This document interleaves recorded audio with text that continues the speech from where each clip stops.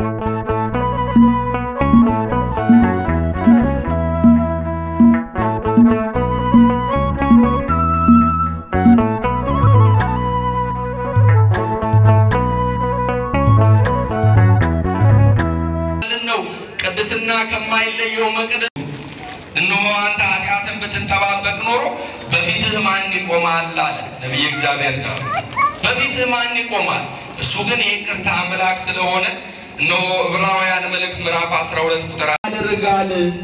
እነሆ አንተም ምግባቸውን በጊዜያቸው ትሰጣቸዋለህ ይላል።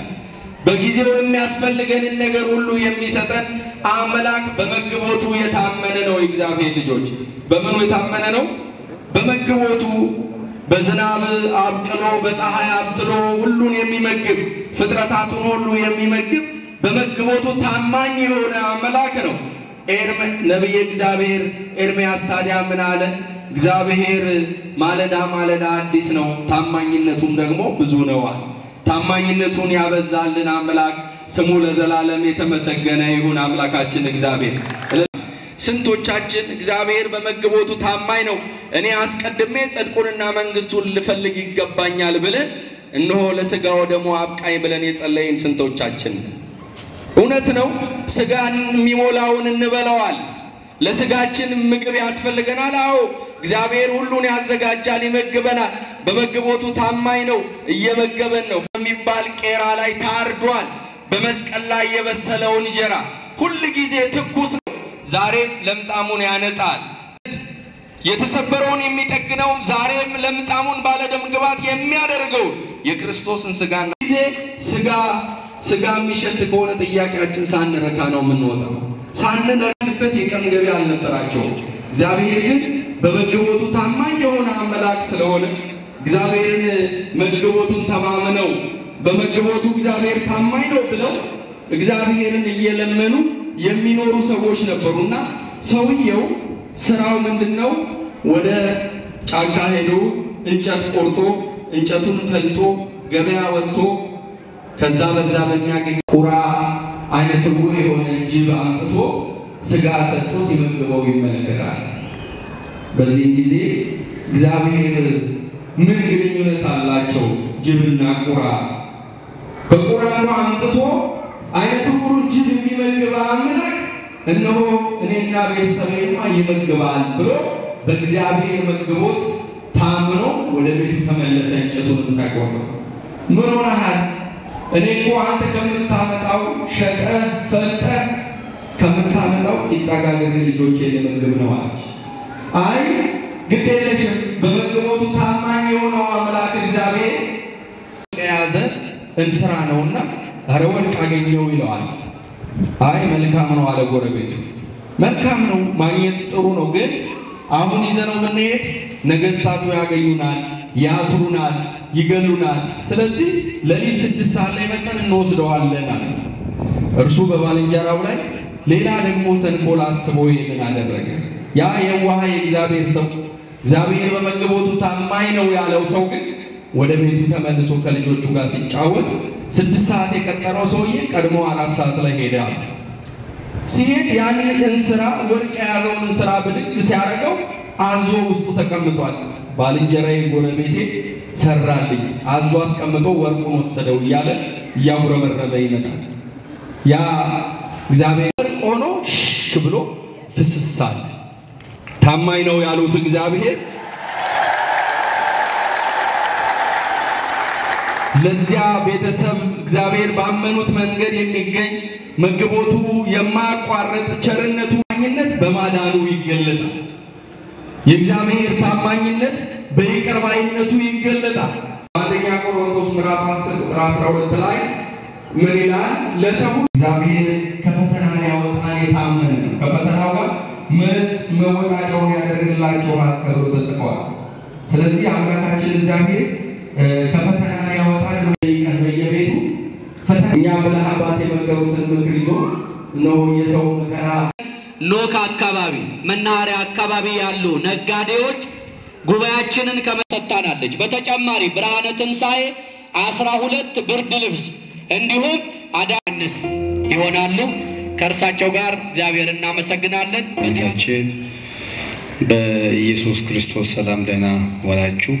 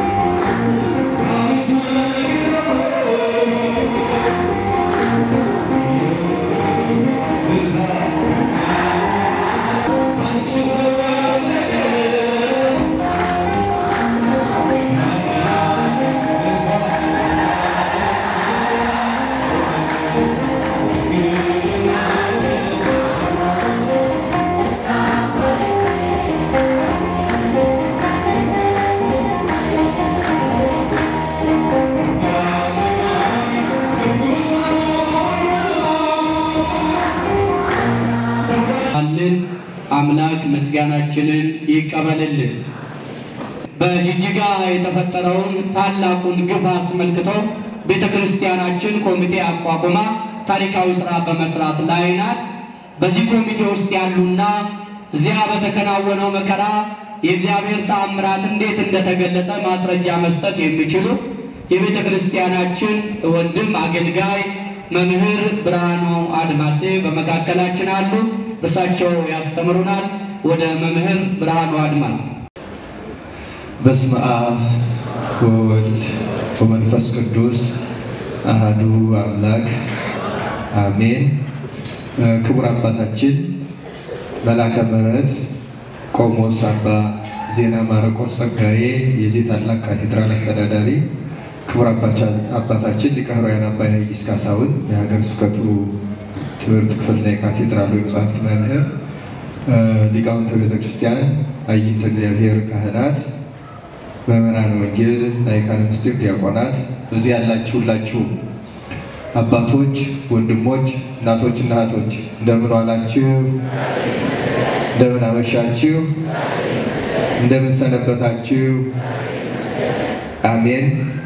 ልዑለ ባህሪ እግዚአብሔር አምላካችን ስሙ ለዘላለም የተመሰገነ ይሁን። እንደተነገረው እንግዲህ ልብስ የምታመጡት ሁሉ አሁን ቆም ታደርጋላችሁ። ወደዚህ ምንም ነገር መንቀሳቀስ የለበትም። ለዛሬ ብቻ አይደለም፣ ለሌላም ጊዜ እንደዚህ አድርጉ። የእግዚአብሔርን ቃል እንድናከብረው እግዚአብሔርም እንዲያከብረን ይህን ሁል ጊዜ ልምድ ብታደርጉት ሀዘን ቤትም ሰርግ ቤትም ላይ የትኛውም ቦታ ላይ እግዚአብሔር እግዚአብሔር አይለወጥም። ለእግዚአብሔር ክብር በአግባቡ መስጠት ይኖርብናል። ዛሬ እንደ እግዚአብሔር ቸርነት የምንማማርበት የትምህርታችን ርዕስ መቆጠር የሚል ነው የሚሆነው። መነሻ የምናደርገው የመጽሐፍ ቅዱስ ክፍለ ምንባብ ኦሪት ዘኍልቍ ምዕራፍ አንድ እና ምዕራፍ ሶስት ላይ የተወሰኑ ቁጥሮቹን በንባብ አሰማችኋለሁ። እሱም መነሻ አድርገን እንማማራለን። አምላካችን እግዚአብሔር ለሁላችን ምስጢሩን ይግለጸልን። ኦሪት ዘኍልቍ ምዕራፍ አንድ ቁጥር አንድ ጀምሮ እንዲህ ይላል። እግዚአብሔርም ሙሴን በሲና ምድረ በዳ በመገናኛው ድንኳን ውስጥ በሁለተኛው ወር በመጀመሪያው ቀን ከግብፅ ምድር ከወጡ በኋላ በሁለተኛው ዓመት እንዲህ ብሎ ተናገረው። የእስራኤልን ልጆች ማኅበር ሁሉ ድምር በየወገናቸው በየአባቶቻቸው ቤቶች በየስማቸው ቁጥር ወንዱን በየራሱ ውሰዱ። ከሀያ ዓመት ጀምሮ ከዚያም በላይ ያለውን ከእስራኤል ወደ ሰልፍ የሚወጡትን ሁሉ አንተና አሮን በየሰራዊቶቻቸው ቁጠሯቸው ይላል። ስለ ቃሉ የእግዚአብሔር ስም የተመሰገነ ይሁን። ምን አድርጓቸው ነው የተባለ? ቁጠሯቸው። ሁለት እዚሁ ምዕራፍ አንድ ቁጥር 47 ጀምሮ ደግሞ ከዚያ በኋላ ያለው ሙሉ በሙሉ ስለዚህ ነው የሚናገረው፣ ግን አስፈላጊ የሆኑትን ብቻ ላሉ ምዕራፍ አንድ ቁጥር 47 ላይ ጀምሮ ቁጥር አይገቡም ነበረ። በሐዲስ ኪዳን ግን ልክ ሔዋን የስህተት የሞት የውድቀት መግቢያ እንደሆነች ሁሉ እመቤታችን ቅድስት ድንግል ማርያም ደግሞ የድህነት የክብር የጸጋ ምክንያት መግቢያ ስለሆነች ከሰው ወገን በክብር በንጽህና በቅድስና የመጀመሪያዋ ተቆጣሪ ማናት?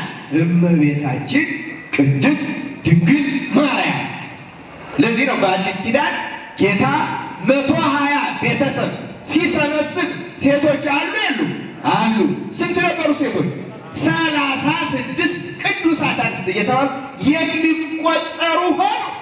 በሔዋን ምክንያት ባይቆጠሩ በእመቤታችን ምክንያት ደግሞ ምን ሆነዋል? ተቆጥረዋል።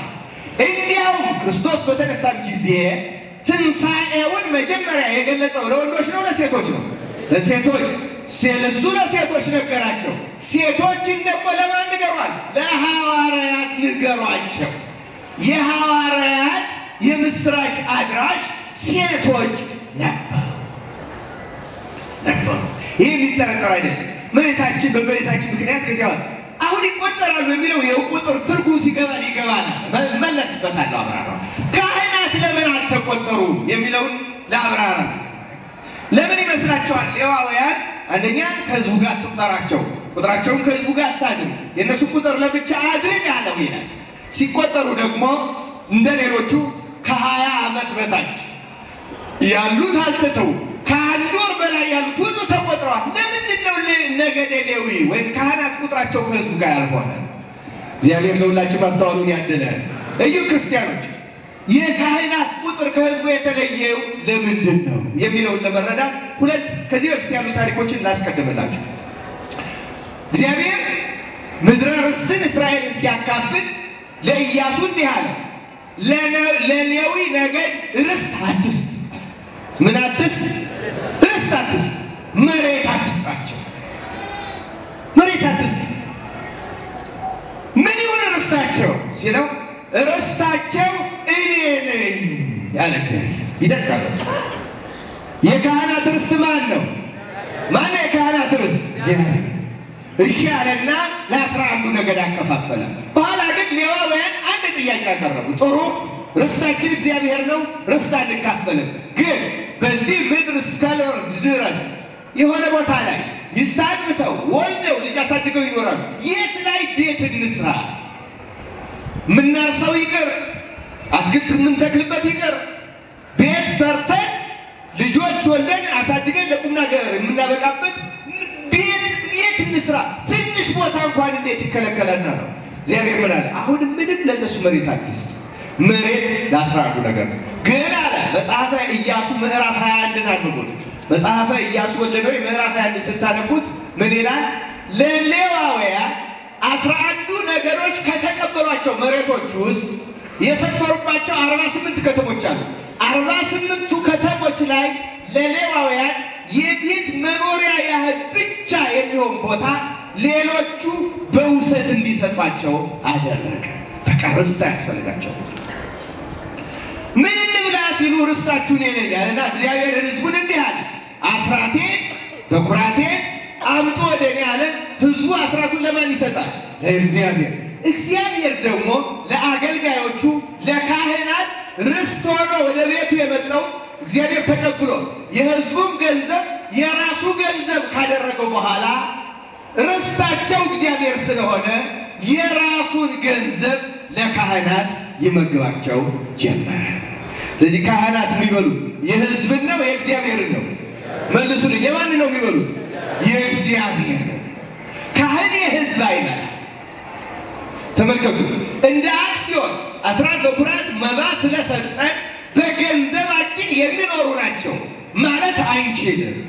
እኛ የሰጠነው ለካህናት ሳይሆን ለማን ስለሆነ? ለእግዚአብሔር ስለሆነ ለካህናት የሰጠው ያንን ገንዘብ ማን ነው? ራሱ እግዚአብሔር ርስታቸው። ስለዚህ ተመልከቱ፣ እንዳይቆጠሩ ያለው አንደኛ ርስታቸው እኔ ነኝ፣ ሁለተኛ መጋቢያቸው እኔ ነኝ። ከእኔ ወገን እኔን ከሚያመሰግኑ ለእኔ መስዋዕት ከሚያቀርቡ ከመላእክት ወገን እንዲቆጠሩ ስላደረግኳቸው ከሕዝቡ ጋር አትቁጠር ያለው ልክ እንዲሁ ልክ እንዲሁ ደግሞ ከእነሱ አቅጣጫ ስናየው ደግሞ የአንድ ኤምባሲ ሰራተኛ ለላከው ሀገር መንግስት እንደሚሰራ ሁሉ ለላክ የአሜሪካ መንግስት የላከው ዲፕሎማት ለእንግሊዝ አይሰራም።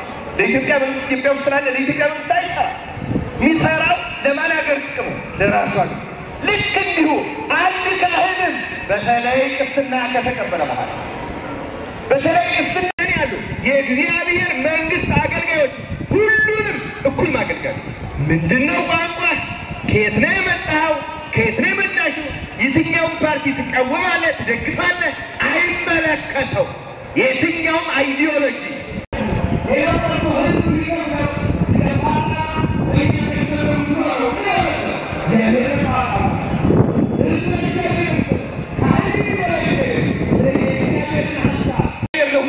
እግዚአብሔር ዝናብ የሚያዘንበው ለይቶ ነው እንዴ? ነው ወይ? ለክርስቲያን አዝኖ ለእስላም ወይም ለቡዲስት ለምናምን ይከለከላል እንዴ? እግዚአብሔር የሁሉ ፀሐይ ካህን ትምህርቱ ነው፣ ትምህርቱ ነው፣ ምክሩ ነው፣ ጸሎቱ ነው፣ ሁሉ ነው። ሐዘኔታ ነው ያሉ አይ ስለዚህ ተመልከቱ፣ መላእክት ሰማያውያን ናቸው። ቢጠብቁት የእግዚአብሔር ፍጥረት ሁሉ ነው። በወንዝ ላይ የተሾመ አለ፣ በደመና ላይ የተሾመ አለ፣ በአትክልት ላይ የተሾመ አለ፣ በእንስሳት የተሾመ አለ። እነ ቅዱስ ሩፋኤል እንሳይ በእኩል በድህትና ፍጥረትን በማክበር እንኳን ለሰው ለሌላ ፍጥረት በመራ ይህን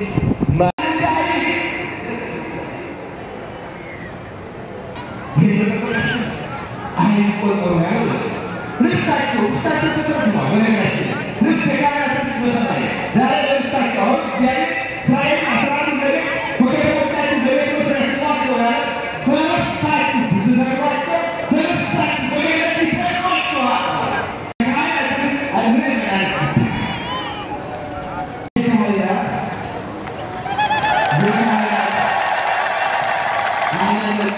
መላእክት ቋንቋ የማያኮራ ሆኖ ሳለ የትኛው ቋንቋ ነው የሚያኮራ?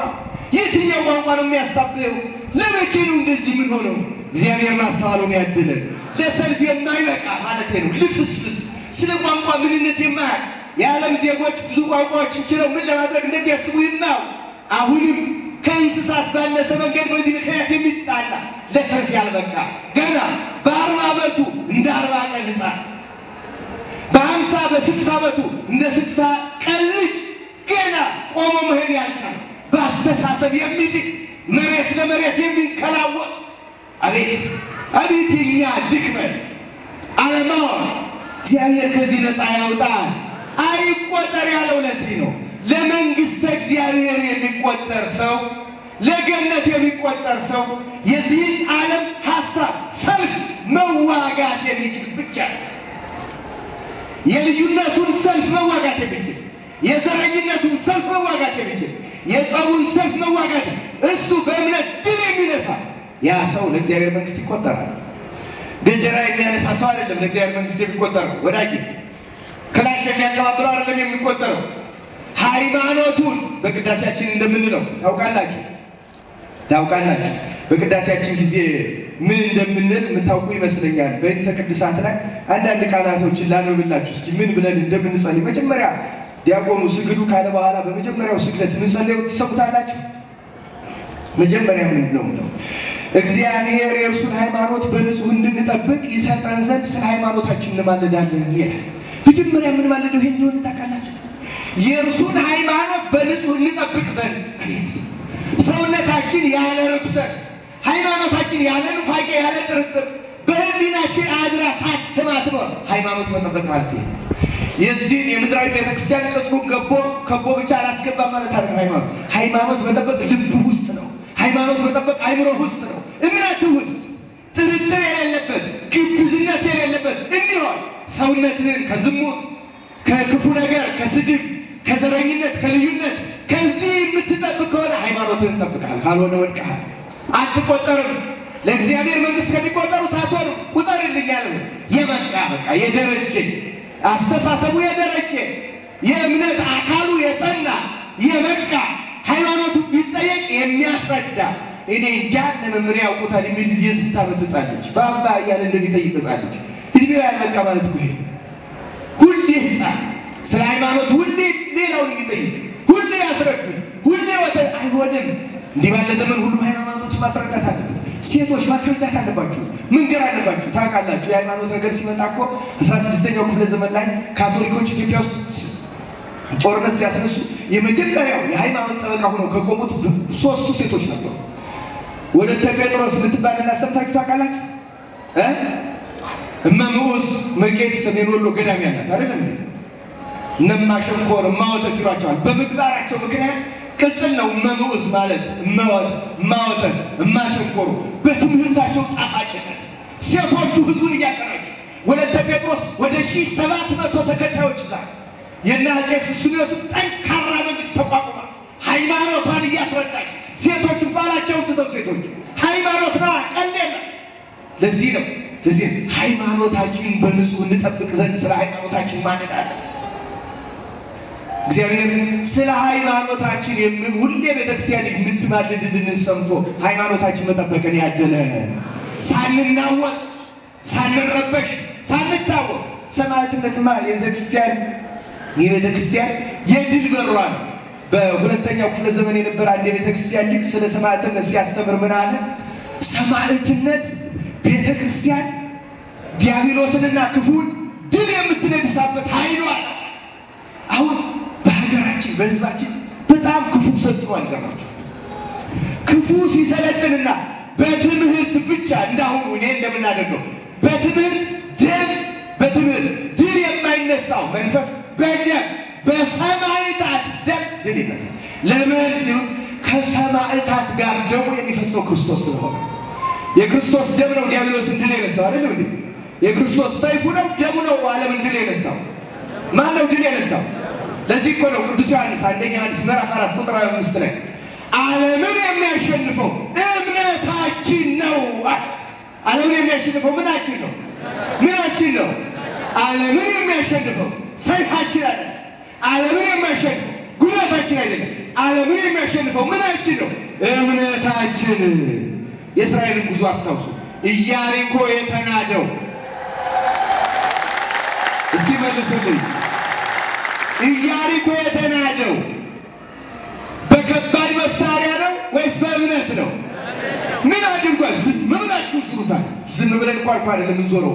ዑደት ስናደርግ ዝም ብለን አይደለም ምንንደዋለን። ወዳጄ በዓይናችን ምናይ ማነው ምናዳል። የጠላት ግንብ ይናዳል። የሰይጣን ከተማ ይናዳል።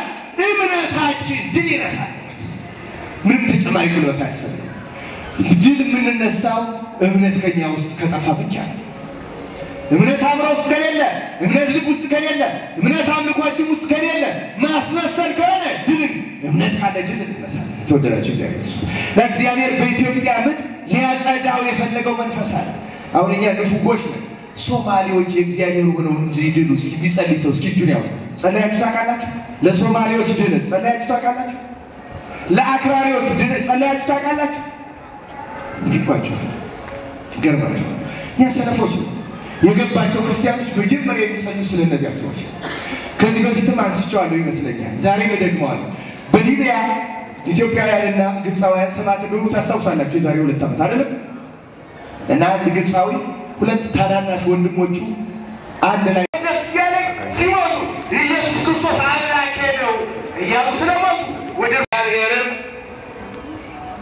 እንደ ፈርዖን የማይመለሱትን ያጠፋል። በጅጅጋ ሰምታቸዋል። የገደላቸዋል አይደለም እንዴ? ሞት ያተፈን በቸርነቱ ነው የጠበቀን። አሁን በቸርነቱ ሁላችን የሚጠብቃል። የማይመለሱትን ግን እግዚአብሔር ስለሚያው የሚሳደዱት ነው ያለ ስለሚያሳድዱት የሚሳደደውማ ከክርስቶስ መከራ ነው የሚሳተፈው። የሚሳደደውማ መስቀል እየተቆጠሩ ነው ከሰማዕታት ጋር እየተቆጠሩ ነው። ከነ መርቆሬዎስ ጋር እየተቆጠሩ እንዲገቡ እንዲያምኑ ጸሎታችን ያስፈልጋል። የተወደዳቸው የእግዚአብሔር ቤተሰቦች ከዚህ ከበይንተ ቅድሳት አንድ ሶስት አረፍተ ነገር ልጨምርላችሁ። በጸሎቱ ዲያቆኑ ምን እያለ?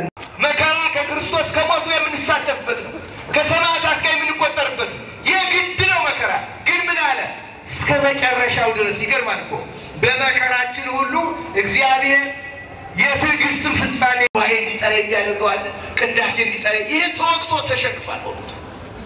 ይህ መከራ አለበት። ይህ ውጊያ አለበት። እዚህም መጥቶ ዝሙት የሚዋኛውም ሰው ማድረግ አስፈላጊ። ቅዱስ ዮሐንስ አፈወርቅ እንዳለው አንድ የአክራሪ እስልምና ተከታይ ተርቦ ብታገኘው አብላው። ምክንያቱም የምታበላው አክራሪነትን ሳይሆን ሰውየውን ነው ይላል። የምትሰጠው ለሰውየው ነው። የምታጠበላው የምታጠጣው ለሰውየው ነው። ዛሬ ላንሳ ሙዳየ ምጽዋት የሚባል ትሰማላችሁ? አትሰሙ? ትሰማላችሁ አይደለም? ሙዳየ ምጽዋት አለ። ሙዳየ ምጽዋት ማለት ጥንት ሙዳየ መባ ለብቻው ነው። ሙዳየ ምጽዋት የሚጠራቀምበት ሳጥን ማለት ነው እንጂ ለቤተክርስቲያን አገልግሎት የሚውል አልነበር። የችግረኞች መርጃ ክፍል የሚኖረው ለዛ ነው። ለምንድን ነው ይሄ የተደረገ መሰላችሁ? እንዴት ስጋዊ ምግብ ለትለው ትበላለህ? የእግዚአብሔርን ጸጋ እኩል ለብሰህ ምን መለመን የለበትም ነው አስተምሮ። ለዚያ ሰው ለሚለምን ለማንም ስጥ ነው። ኩርማኗ ቆርሶ ይስጠው ለሰማዕት አንደኛ ይጹም ነው። ምንም የሚሰጠው ከሌለ በመጾም ራሱ ከመከራው መሳተፍ አለበት። እየተራቡ ነው ወገኖች ብሎ እየሰዎች ስንረዳ ሶስት ደረጃ ነው። ላላመኑት ሁሉ ምንረዳበታለን። ለክርስቲያኖች ምንረዳበት፣ ለሰማዕታት ምን ልክ ለሰማዕታት ለሰይፍ ከበረቱት ከቅዱሳን ጋር እኛንም ይቁጠረን። ዓለምን ድል የነሱት ሰማዕታት በደም በትምህርት ድል ከነሱት ይልቅ በሰማዕትነት ድል የነሱት ይበልጣል። የምናየው አውሮፓ ወደ ክርስትና የተመለሰው በደም ነው። በነገራችን በሰማዕትነት በመከራ ይጸልዩላቸዋል። እኔ በተለይ አንድ ሰው ታሪክ ተናግሬ ትምህርቴን አጠቃልላለሁ።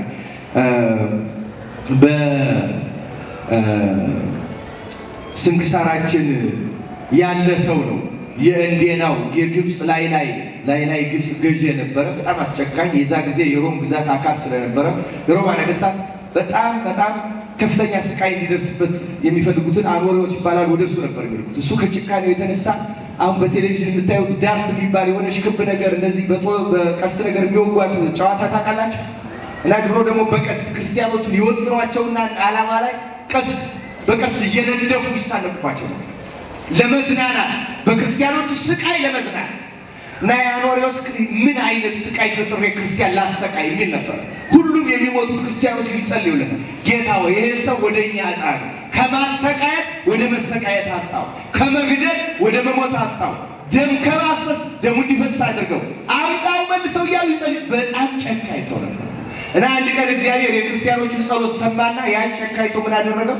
ልክ ክርስቲያኖችን ቆሞ በቀስት እያስነደፈ በስቃያቸው ሲደሰት የአንዱ ቀስት ተመለሰችና አይኑን ወጋቸው። እሱ አይኑ ላይ ተተክላ አልነቀላል ራዤ መቋቋም አቃተው። በብዙ ቀስቶች እያስነደፈ የሚደሰተው ሰው ተመልሳ በወጋችው ሰይፍ ቆሞ መሄድ አቃተው። ራዤ ምን ምን ያ ማን ያድነው? ማን ያድነው? ተጨነቀ። አንድ ክርስቲያን ቀረብ አለና መዳን ትፈልጋለህ ወይ አለ። የጨነቀው ሰው በምንም መንገድ መዳን ነው አይደል የሚፈልግ? አዎ አለ።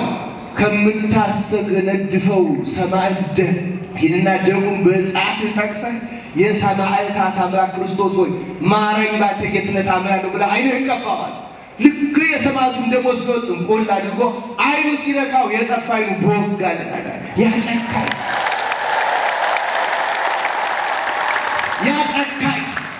ሰማዕትነት ማለት እኮ ለጨካኙ ድነት መጨነቅ ማለት ነው። ለአጥፊው ድነት ያን ጊዜ በክርስቶስ አመነ። ሲያሳድደው የነበረው ክርስቶስ እየዞረ ክርስቲያን ነኝ እያለ በሮማ ነገሥታት ፊት ቆመ። አሳዳጁ አጎሬዎስ አንገቱን በሰይፍ ተቀልቶ የሰማዕታትን አክሊል ተቀዳጀ። እግዚአብሔር የገዳዮቹን የአሳዳጆቹን ወገኖቻችን ለሰማዕትነት ካበቃልን ድል ነሳ። ዓለምን የሚነሳው ምናችን ነው? እምነታችን ድል መንሳት አለበት። ማመን አለባቸው። መጠበቅ አለባቸው። መምጣት አለ። በኃይል አይደለም፣ በጦር አይደለም፣ በጉልበት አይደለም፣ በእምነት እምነት በሚያደርገው ተአምራት ሰናፍጭ ቅንጣት ያህል ቢኖራችሁ አይደለም የተባለ እምነት ካለ ይደረጋል። ምንም አይደለም። ተራራውን ይህን ተራራ ማለት ነው እንደ ተራራ ልቡናቸው የገዘፈ ሰዎች አሉ። ነቅሎ ይዘለዋል። እምነት ክርስቲያን እምነት የማያደርገው ነገር የለም። እንዲህ ያለ የደነደኑ ልቡናቸውን አንስቶ ወደ ሰማዕትነት ወደ ሃይማኖት ይመልስልን፣ የወጡትን ያስገባልን፣ ያሉትን ያጽናልን። እኛም ጸንተው ከሚኖሩትና መጨረሻ መንግስቱን ገነትን ቅድም ነግሬያቸዋለሁ። እንዲያው ከተቆጠሩት ከእስራኤል ሁለት ብቻ ናቸው የገቡት። አይደለም ነው አይደለም? እኛም ዝም ብለን መጀመሪያ ተቆጥረን መንገድ ላይ ወድቀው ከሚቀሩት እግዚአብሔር ያድርገን። እስከ መጨረሻ ጸንተን መንግስቱን ለመውረስ ያብቃን። ይቆየን። ወስብሐት ለእግዚአብሔር። ለመምህር ብርሃኑ አድማስ ቃለ ሕይወት ያሰማልን፣ ቃለ ሕይወት ያሰማልን። ለንጹሐን መምህራን ያደለውን ዋጋ ያድልልን። እኛንም ሰምቶ ከመጥፋት እግዚአብሔር ይሰውራል። እኔ እንዲቋችሁ ላደረገ ለእግዚአብሔር ምስጋና እናቀርብለታለን። ሌላ ክፍያ እግዚአብሔርን አመስግኑ። እርሱ የካቴድራላችን የፈለገ ሰላም ዘመናዊ የሰንበት ትምህርት ቤት ተማሪዎች ባላችሁበት ሳትንቀሳቀሱ ጥላ ይዘው ይመጣሉ። ዛሬ ዛሬ በዚህ አውደ ምሕረት ይህንን አስተላልፈው የጧፉን ብርሃን ለኩሰው ስለ ጉዳዩ አባታዊ መመሪያ ለመስጠት አሜን። እግዚአብሔር ይመስገን ብለን እንድናመሰግን የፈቀደልን የድንግል ማርያም ልጅ ዛሬም ዘወትርም የተመ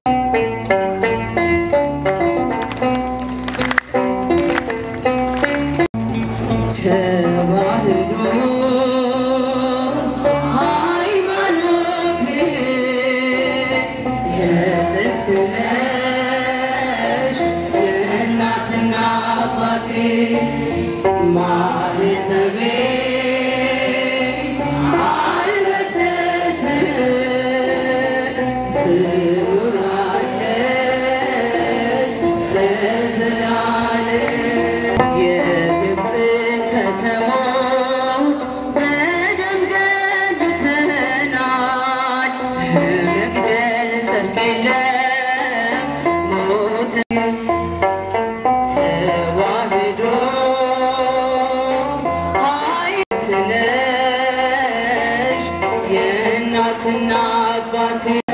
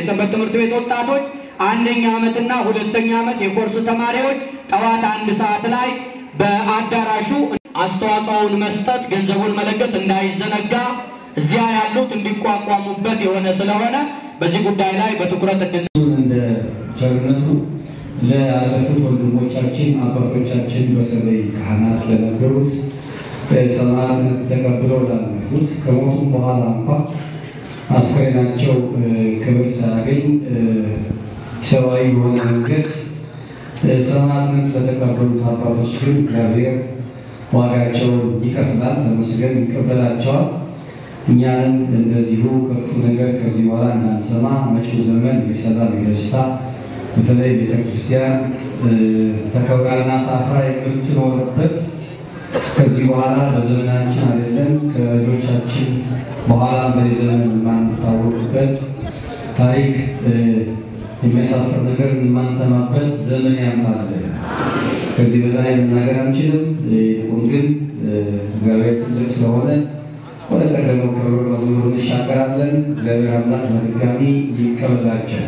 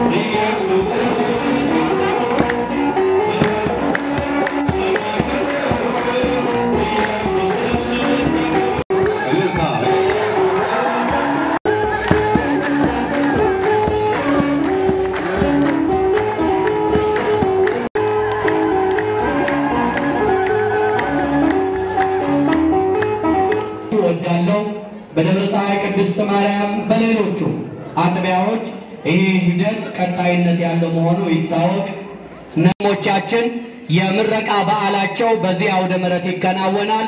ከአስር ሰዓት ተኩል ጀምሮ ትልቅ መንፈሳዊ መርሃ ግብር ስላለ ተገኝታችሁ የሕይወት አብያተ ክርስቲያናት ስም የሰበሰብነው ገንዘብ በቀጥታ በካቴድራሉ በናዝሬት ከተማ ምዕመናን ስም ለእነርሱ በቀጥታ የሚገባ ነው። ለሌላ አገል ሰማዕታቱን እንድናስታውስ በጸሎት በአባታዊ ቃለ ምዕዳን ከማሰናበታቸው በፊት ዓለም እንዲሰማ አሕዛብ እንዲያፍሩ ለእኛ የልብ ተስፋ እንዲሆነን እዚህ ፊት ለፊት ያኖርናቸውን እነዚህን ሰማዕታት ስናስብ ያዘጋጀነውን ያዘጋጀነውን ጥቅስ ድምፃችንን ከፍ አድርገን እናውጃለን። በነገራችን ላይ መርሃ ግብሩ መርሃ ግብሩ ለሚመለከተው አካል እንዲደርስ እየተቀረጸ እንደሆነ ልብ በሉ።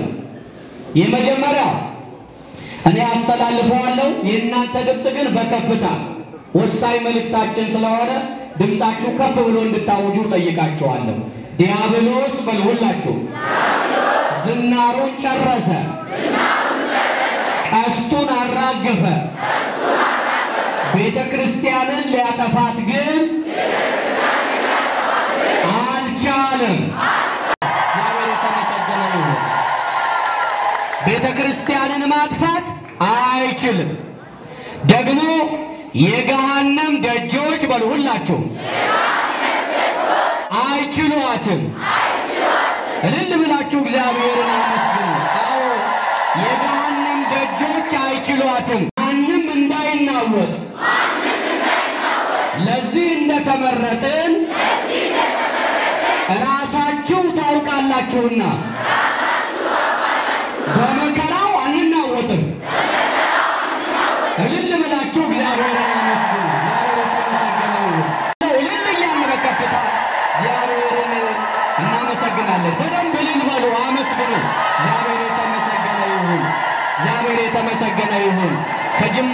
ፍጻሜ የረዳን አምላክ የተመሰገነ ይሁን።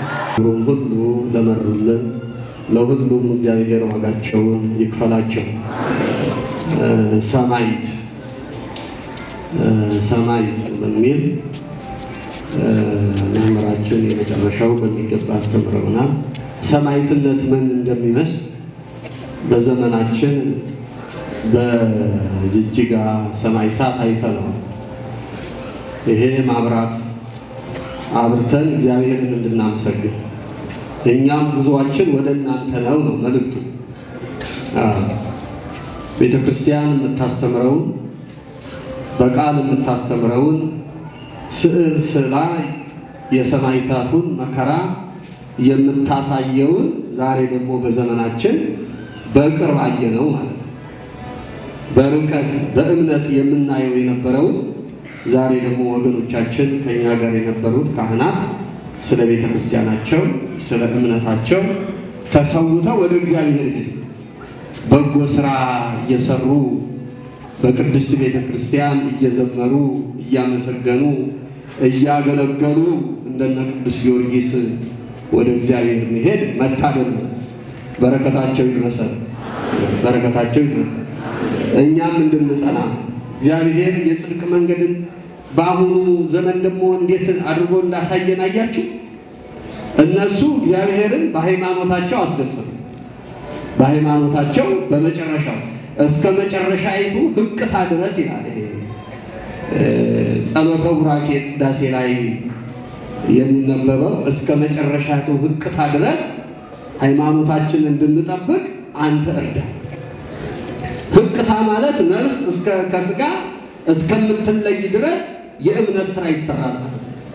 እስከዛ ድረስ ታምነው በቤተ መቅደስ በደጀ ሰላም ስጋ ወደሙ በተሰዋበት ወገኖቻችን ወደ እግዚአብሔር ሄደ የሚለው የዮሐንስ ወንጌል 14 አንድ ላይ ያለው እነሱ በዚያ አንገታቸውን ለሰይፍ ሰጥተው ሰማዕት ሲባሉ ዛሬ ደግሞ ሰማዕት እንበለ ደም ማለት እነሱ ደማቸውን አፍሰው ሰማዕት ተብለው ሲሄዱ ዛሬ ደግሞ በዚህ ጉባኤ ሁሉ በየቤታችሁ በሚገባው ሁሉ ያደረጋችሁት ያለ ደም ሰማዕት የሆናችሁ ማለት ነው። በሃይማኖት ምክንያት እየተፈተናችሁ የምትኖሩ በሁሉም ተቋማት ክር ስላሰራችሁ መስቀል ስለያዝን ብቻ ተጠልቶ መኖር ያለ ደም ሰማዕት ይባላል ማለት ነው። ይህንን ጠንክረን እንድንይዝ እኛ ቤተ ክርስቲያንን ህዝበ ክርስቲያንን ሁሉ ከፈተና ጠብቅልን የምንለው በኃጢአት ምክንያት ከሚመጣ ፈተና በበደል ምክንያት በኃጢአት ምክንያት እግዚአብሔርን በማስቀየም ምክንያት ከሚመጣ ፈተና ጠብቀን። እንዲህ አይነቱ መከራ አይቀርም። ለቤተ ክርስቲያናችን አዲስ አይደለም። ገድለ ሰማዕታት፣ ገድለ ሐዋርያት የሚያወራው የሚናገረው የሚያወሳው ሰዎች ስለ ሃይማኖታቸው ራሳቸውን አሳልፈው እንደሰጡ ክርስቶስ ስለ ዓለም በመስቀል ላይ ሕይወቱን እንዳደለን ሁሉ እነሱም ቀምተው ሳይሆን ወንጀል ሰርተው ሳይሆን የሰውን ያልተገባውን ነክተው ሳይሆን በንጹህ ምንም ሳያደርጉ በንጽህና ወደ እግዚአብሔር የሄዱ ሰማዕታት ማለት ነው፣ ምስክር ማለት ነው። እኛ ደግሞ ዛሬ ጧፍ አብርተን ጉባኤ ተካፍለን ዘምረን እንግዲህ ሰማዕትነትን በዘመናችን ዛሬ ብቻ አይደለም፣ በተለያየ ክፍለ ሀገር ባለንበት ብዙ አይደለም፣ ብዙ የተቃጠሉ፣ ብዙ የታረዱ፣ ብዙ የሞቱ የማይዘገብ ደግሞ አለ። እንዲሁ ታርደው የሚሞቱ እግዚአብሔር የሚያውቃቸው። ስለዚህ በሃይማኖታችን በስነ ምግባራችን ጠንካሮች እንድንሆን ነው ቤተክርስቲያን የምታስተምሩ። ጉባኤ መደረጉ ማለት ከይህ ጉባኤ ላይ የምናየው በተለይ ወጣት የሆን በእኛ ዘመን በሃይማኖት ጠንካሮች እንድትሆኑ ቤተ ክርስቲያን የምታስተላልፈውን እንድንሰማ ተግባራዊ እንድናደርግ ልብስ ብቻ በመስጠት አይደለም። ልብስ በመስጠት ብር በመስጠትማ ነጮቹም ይሰጣሉ፣ ያለ እምነት ይረዳሉ። እነሱ ግን እምነት አይደለም፣ በእምነት አይደለም። እኛ ግን በእምነት እንደሰጠን ሁሉ ነገም ሕይወታችንን እስከ መስጠት ድረስ ወደኋላ እንድና እንዳንል የሚያስቸግረንን የሚያስጨንቀንን ፍላጎቱን ሁሉ አሸንፎ መኖር በወጣትነት ዘመን አንዱ ሰማዕትነት ስለሆነ ቤተ ክርስቲያንን በእምነት በበጎ ነገር በመታዘዝ ጎንበስ ቀና በማለት ቤተ ክርስቲያንን ድምፅ በመስማትና በመሰማራት ቤተ ክርስቲያናችን እምነታችን እንድንጠብቅ ሀገራችንን እንድንጠብቅ በፍቅር በአንድነት ሰው ለራሱ ብዙ ይለፈልፋል፣ ብዙ ይናገራል። እኛ ግን ባለ ሀገሮች ቤተ ክርስቲያንና ሀገራችን ተለያይታ ስለማትታይ ለሀገራችን፣ ለሕዝባችን፣ ለቤተ ክርስቲያናችን ጠንካሮች ሆነን የምናሳይበት የመጨረሻው ዘመን ስለሆነ ጥንካሬውን ጽናቱን እግዚአብሔር አምላክ ይስጠን። ለጅጅጋ ሰማዕታት የሰጠው አምነናል ወደ እናንተ ቢሉ ኖሮ ክራቸውን ቢበጥሱ ኖሮ አይገደሉም ነበር። ክራችንን አንበጥስም፣ ቤተክርስቲያናችንን እንወዳለን ብለው የተሰዉት። ስለዚህ ከእኛ ቀደምት እንዳሉት እንደ ጠንካሮቹ ሰማዕታት ጠንካሮች በእምነት እንድንሆን እነሱን ያጠነከረ አምላካችን ይርዳን፣ ያግዘን። የሞቱት ነፍሳቸውን በቅዱሳን ስፍራ ያኑርልን፣ በረከታቸው ይድረሰን። አሜን። በደላችንን